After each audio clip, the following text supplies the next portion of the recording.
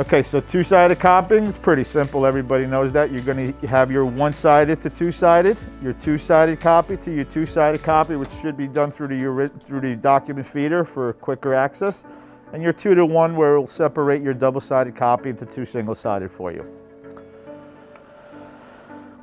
Copy ratio 100%, fully adjustable from 50 to 400.